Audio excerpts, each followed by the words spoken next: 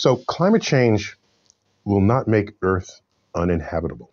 Climate change will make Earth a living hell. In fact, I, I live in New York City, where in our harbor we have the Statue of Liberty. And there she is holding the Declaration of Independence.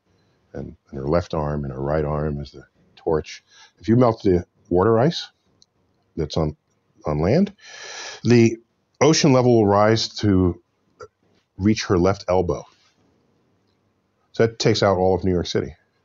And basically every other coastal city that we've spent thousands of years building uh, the, since the dawn of civilization.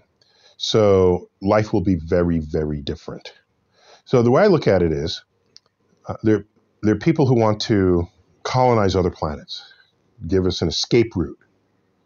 We trashed Earth. Let's move elsewhere and hope we don't trash that.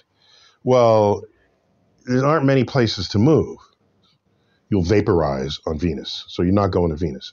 Mars rotates once every 24 hours. That's kind of interesting. It's tipped on its axis, as Earth is, which means it has seasons.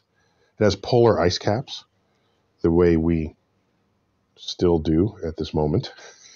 And there's evidence of running water on its surface. So there's a chance we could terraform Mars. My favorite word of the past few decades. You turn something that's not like Earth into something that's like Earth. So then you just move there. So here's the catch. If you have the power of geoengineering to turn Mars into Earth, then you have the power of geoengineering to turn Earth back into Earth.